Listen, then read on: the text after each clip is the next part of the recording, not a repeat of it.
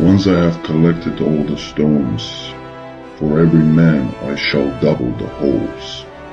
Perfectly balanced, as all things should be.